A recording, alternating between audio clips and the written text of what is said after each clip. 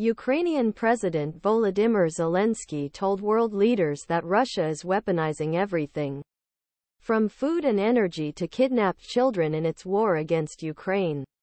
He said that although the world has various treaties restricting weapons, especially nuclear weapons, Russia maintains access to destructive weapons. Terrorists have no right to possess nuclear weapons. Zelenskyy told the first face-to-face United Nations General Assembly meeting since Russia's invasion.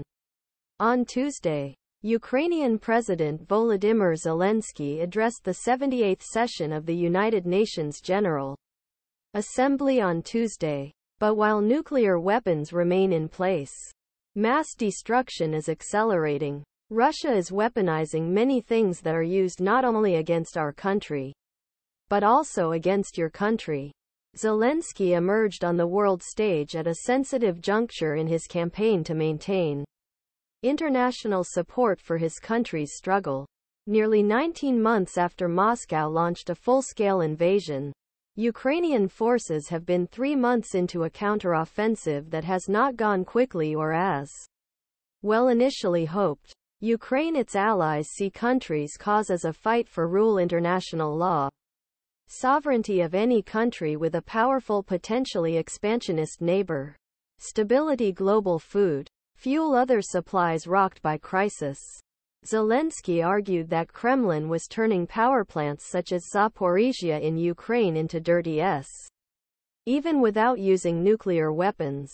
And warned that every war still had the potential to be last war.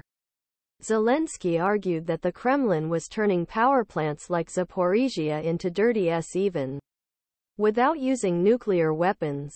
Is there any point in reducing nuclear weapons while Russia is arming itself?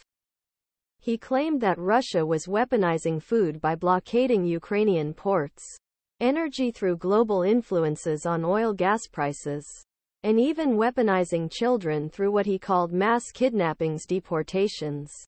We know the names tens thousands children and have evidence that hundreds thousands other children were abducted by Russia in the occupied territories Ukraine and subsequently deported.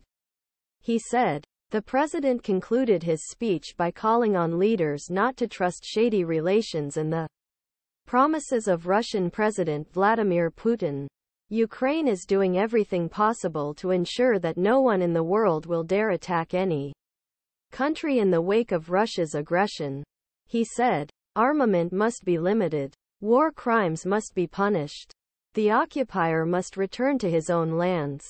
Ukrainian President Volodymyr Zelenskyy speaks with wounded Ukrainian soldiers during his visit to Staten Island University Hospital in New York.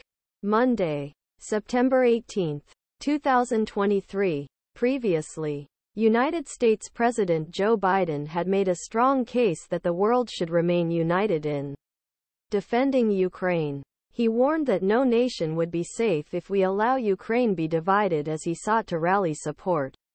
For Kyiv's efforts repel nearly 19 months of Russian